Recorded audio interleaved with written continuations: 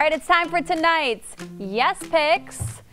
First up tonight, we have this picture sent in by Teresa Leasing of Puddles taking a quick nap. Aw, so precious.